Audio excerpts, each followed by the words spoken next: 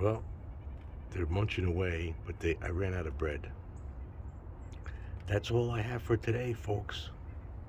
One, look how many. There's one over there. Look how many there are. They go all the way into the back.